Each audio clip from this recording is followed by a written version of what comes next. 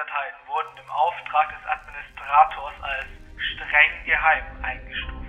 Allgemeiner Hinweis 001-Alpha. Um zu verhindern, dass das Wissen über SCP-001 durchsickert, wurden neben der eigentlichen Datei, Dateien mehrere bzw. keine gefälschten SCP-001-Dateien erstellt. Alle Dateien, die die Natur von SCP-001 betreffen, einschließlich der die Fabrikationen, sind durch einen mimetischen Kampfstoff geschützt, der dazu bestimmt ist, bei nicht autorisiertem Personal, welches versucht, auf die Dateien zuzugreifen, einen sofortigen Herzstillstand auszulösen.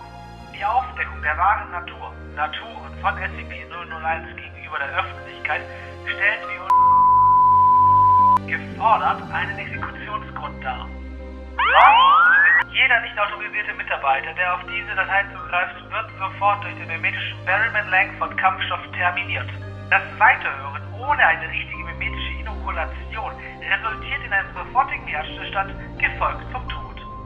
Sie sind gewarnt worden.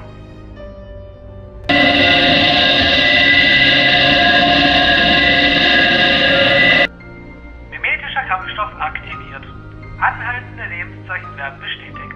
Entferne Sicherheitssperre. Willkommen, autorisiertes Personal. Bitte wählen Sie Ihre gewünschte Datei.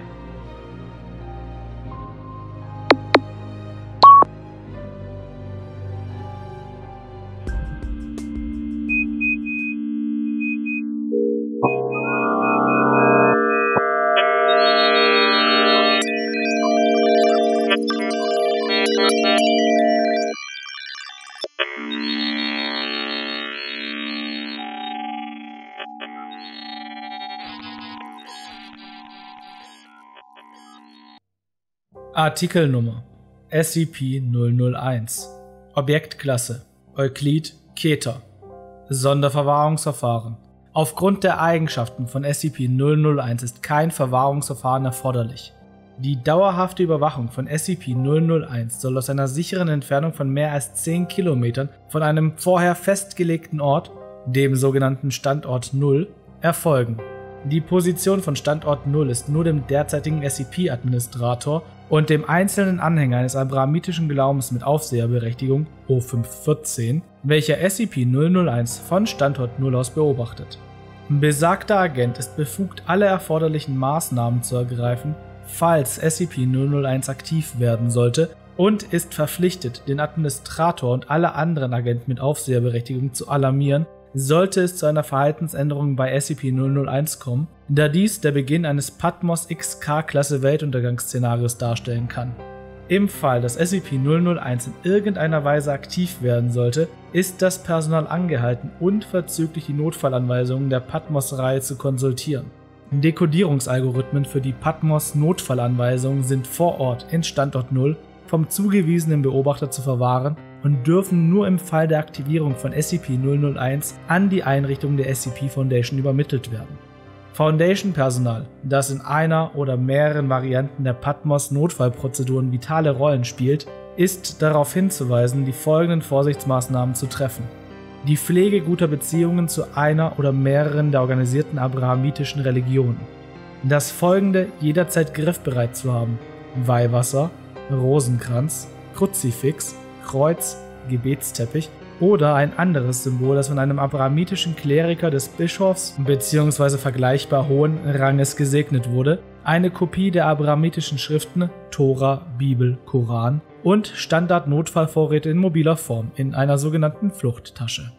Im Fall eines prämillenarischen Entrückungsszenarios muss das essentielle Personal einen zweiten Agenten benennen, der nicht einem abrahamitischen Glauben angehört. Dieser sekundäre Agent ist über die Standorte eines Exemplars der Dokumentation der Notfallprozedur Patmos, des primären Agenten sowie des Inokulationsmittels gegen den mimetischen Kampfstoff zu informieren und durchgehend auf dem Laufenden zu halten, um, falls nötig, die Aufgaben des primären Agenten zu übernehmen. Sich mit allen anderen SCPs vertraut machen, die an möglichen Patmos XK Weltuntergangsszenarien beteiligt sein können.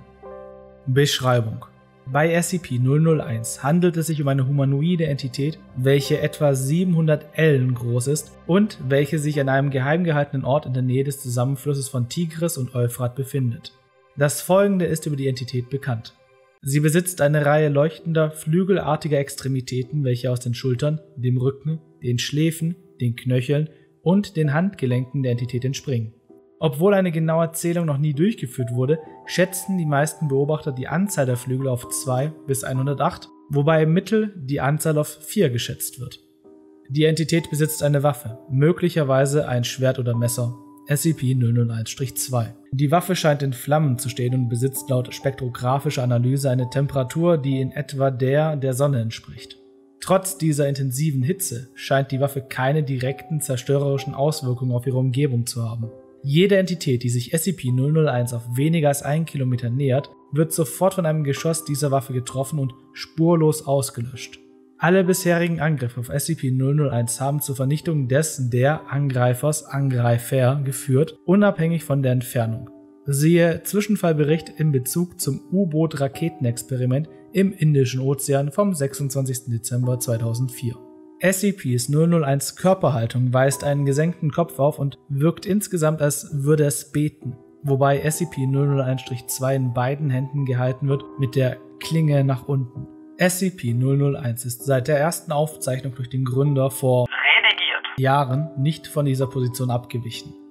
Menschen, die SCP-001 ausgesetzt sind, berichten, dass sie eine Stimme in ihren Köpfen hören können, die ihnen einen Befehl gibt, dem man sich nicht widersetzen kann. Der häufigste dieser Befehle ist Vergiss, welcher dazu führt, dass die Person sich von SCP-001 entfernt, ohne sich daran erinnern zu können, die Entität gesehen zu haben. In seltenen Fällen wurden jedoch auch andere Befehle gegeben, der berühmteste davon ist das an den Gründer gerichtete Sei bereit, welches, wie er behauptete, den Anstoß zur Gründung von Daten gelöscht. gegeben hatte, um alle übernatürlichen und oder paranormalen Artefakte zu katalogisieren und zu verwahren, die eine ernsthafte Bedrohung für die gegenwärtige Existenz der Menschheit darstellen könnten. Dies war die Organisation, die heute als SCP Foundation bekannt ist. Beobachter haben berichtet, dass SCP-001 vor einem Tor von immensen Ausmaßen zu stehen scheint. Langstreckenaufnahmen haben gelegentlich einen scheinbar pastoralen Hain im Inneren entdeckt, der zahlreiche andere Entitäten, die SCP-001 ähneln, sowie mehrere Obstbäume unbekannter Art enthält. Von besonderer Bedeutung sind zwei Obstbäume von immenser Proportion in der Nähe dessen, was das Zentrum des Hains zu sein scheint. Bei dem einen scheint es sich laut Berichten um einen gewöhnlichen Apfelbaum zu handeln, während der andere, während der andere eine auf der Erde unbekannte Frucht trägt, die als Daten gelöscht. bezeichnet wurde. Es ist die erklärte Überzeugung des Gründers, dass basierend auf Korrelation mit alten babylonischen Texten und den Schriftrollen vom Toten Meer es sich bei dem Tor, welches von SCP-001 bewacht wird, um das Tor zu Daten gelöscht. handeln könnte. In diesem Fall kann man daraus schließen, dass es sich bei der als SCP-001 bekannten Entität um Daten gelöscht. handeln könnte. Nachtrag 001-A Experimente bezüglich des effektiven Tötungsradius von SCP-001-2 Experiment A Ein D-Klasse-Mitarbeiter, der angewiesen wurde, sich SCP-001 so nah wie möglich zu Fuß zu nähern. Ergebnis nach Herstellung des Sichtkontakts zu SCP-001 erhält das Subjekt von diesem die Anweisung, verlasse diesen Ort. Das Subjekt wendet sich sofort von der Entität ab und entfernt sich. Trotz wiederholter Aufforderung, das Experiment fortzusetzen, weigert sich der D-Klasse-Mitarbeiter zu gehorchen und wird terminiert. Nach der Terminierung werden alle beteiligten Forscher und Mitarbeiter durch eine unbekannte Kraft, vermutlich SCP-001-2, ausgelöscht. Experiment B. Ein ferngesteuerter Forschungsroboter, der in Richtung SCP-001 gelenkt wird. Ergebnis. Bei Erreichen einer Entfernung zu SCP-001 von weniger als einem Kilometer wird der Forschungsroboter vermutlich durch SCP-001-2 ausgelöscht. Alle weiteren Versuche der Fernaufklärung lieferten das gleiche Ergebnis. Experiment C 100 vorprogrammierte Forschungsdrohnen, die angewiesen wurden, sich SCP-001 aus mehreren Richtungen gleichzeitig zu nähern. Ergebnis die Koordination war erfolgreich und alle 100 Drohnen überschreiten gleichzeitig die 1-Kilometer-Marke, jedoch werden alle gleichzeitig durch SCP-001-2 ausgelöscht. Der zugewiesene Beobachter an Standort 0 berichtet, dass es schien, dass SCP-001-2 in alle Richtungen auf einmal zugeschlagen hätte. SCP-001 wich dabei nicht von seiner Körperhaltung ab. Experiment D. Drahtgelenkte Rakete die aus einer Entfernung von 3 Kilometern abgefeuert wird. Ergebnis SCP-001-2 löscht die Rakete beim Überschreiten der 1 Kilometer Marke aus und annihiliert gleichzeitig den Startplatz und tötet das gesamte anwesende Personal. Experiment E eine Interkontinentalrakete mit mehreren Sprengköpfen, abgefeuert vom SCP-Atom-U-Boot Nautilus. Ergebnis Siehe U-Boot-Raketenexperiment im Indischen Ozean vom 26. Dezember 2004. Experiment F SCP-076 und das mobile Einsatzkommando Omega-7, die Büchse der Pandora, wurden angewiesen, sich SCP-001 zu Fuß zu nähern. Ergebnis SCP-076 weigert sich, die Mission durchzuführen, obwohl es nicht über den genauen Inhalt der Mission informiert ist. Auf die Frage warum antwortet SCP-076, Zitat, Nein, einfach Nein. Experiment G SCP-073 Aufgrund der Ergebnisse aus Experiment F wurde SCP-073 bis zur Ankunft am Standort 0 nicht über sein Ziel informiert. Ergebnis SCP-073 näherte sich dem Gelände zu Fuß. Als er SCP-001 sah, zeigte SCP-073 Verzweiflung und bat um Abbruch. SCP-073 wurde angewiesen, fortzufahren. Zu diesem Zeitpunkt wurde das Symbol auf der Stirn von SCP-073 zu Daten gelöscht. Das Experiment wurde aufgrund von Daten gelöscht. abgebrochen. Siehe Nachtrag 001-A. Nachtrag 001-A. Auf Anordnung des Administrators dürfen keine weiteren Experimente bezüglich SCP-001 durchgeführt werden. Es dürfen keine weiteren SCPs SCP-001 ausgesetzt werden. SCP-001 darf nicht zur Entsorgung gefährlicher SCPs verwendet werden. Bitte beachten Sie die überarbeiteten Eindämmungsverfahren für weitere Details. Anhang Am konnte die folgende fehlerhafte Übertragung vom Personal der Foundation empfangen werden. Einleitung des Notfallverfahrens Patmos Omega. An alle Mitarbeiter der Foundation. Die folgende Nachricht wurde heute Morgen um von Standort 0 empfangen.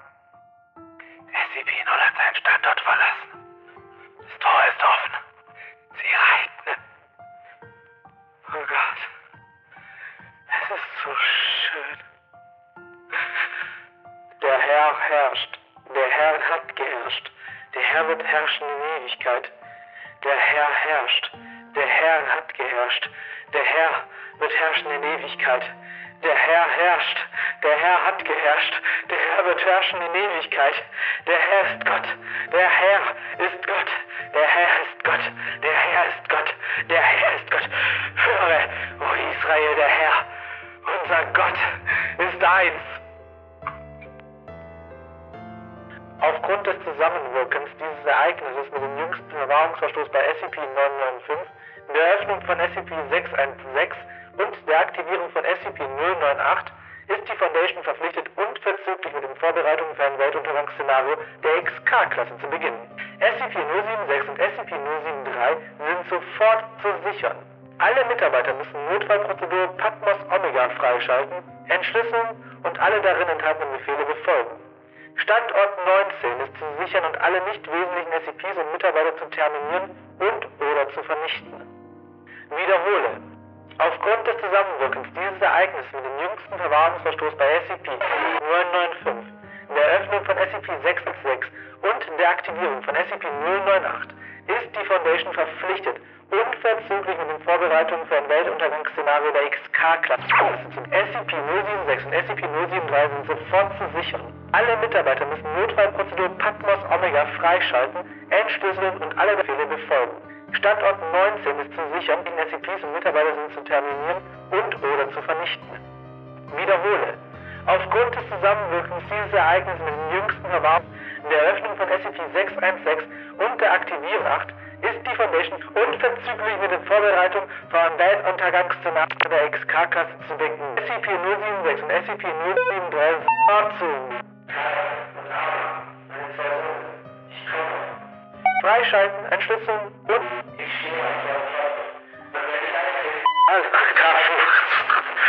Und ist, und ist ein neuer Himmel und eine neue Erde.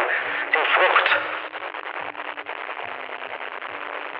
Signal verloren. Nach Kontaktaufnahme mit Standort 0 antwortete O514, dass keine solche Nachricht von seinem Standort gesendet wurde und dass SCP-001 regungslos verbleibt.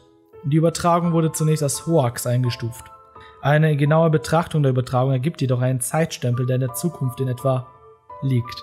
Es wird theoretisiert, dass Daten gelöscht. Hallo meine lieben Freunde da draußen an euren Empfangsgeräten. Herzlichen Glückwunsch. Ihr habt es ans Ende des Videos geschafft und kriegt daher meine kleine geheime Dankesbotschaft an euch mit. Danke. Danke für 500 Abonnenten. Das ist eine Zahl, mit der ich niemals gerechnet hätte, als ich mit diesem Projekt hier angefangen habe. Ja, ähm, das, das, das, ich, ich kann da immer noch nicht meinen Kopf wirklich so ganz um die Sache drum wickeln, dass tatsächlich eine Menge Leute anscheinend das mögen, was ich hier produziere ähm, und immer und immer wieder kommen und sich meine Videos aufs Neue hin angucken und das finde ich einfach unglaublich. Danke, danke dafür. Danke auch immer für die super netten und äh, teilweise auch sehr konstruktiv kritischen Kommentare, die ich unter die Videos bekomme. Das hilft mir immer sehr, so ein bisschen abzuschätzen, was kommt gut an, was kommt nicht so gut an. Ähm, wo könnte ich eventuell noch Sachen verbessern. Also top, top Leute, danke dafür an euch. Ähm, weiterhin eine Sache noch. Wenn ich mir jetzt dieses Jahr so angucke, ich hatte im Januar mein 300 Abonnenten Special, im Juni mein 400 und jetzt schon mein 500 Abonnenten Special. Und ich finde das natürlich den absoluten Wahnsinn, wie schon gesagt. Aber wenn das jetzt zeitlich so weiterläuft und sich so weiterentwickelt, mache ich irgendwann nur noch äh, Abonnenten-Special-Videos und das wird A etwas langweilig und B ist es dann auch nicht mehr so special. Deswegen werde ich jetzt dazu übergehen, das nächste, das nächste SCP-001 Special, also das nächste Abonnenten-Special, dann bei 750 Abonnenten zu machen und dann bei 1000 und falls wir es wirklich schaffen, diese utopischen 1000 irgendwann zu knacken, muss wir weiter gucken, wie wir dann das mit dem Modus, wie wir da weiter verfahren werden. Ähm, ansonsten, ja, also nochmal großen Dank an euch da draußen. Äh, ich bin überwältigt und ja, bleibt mir nicht mehr viel zu sagen, außer schaut euch noch ein anderes Video an.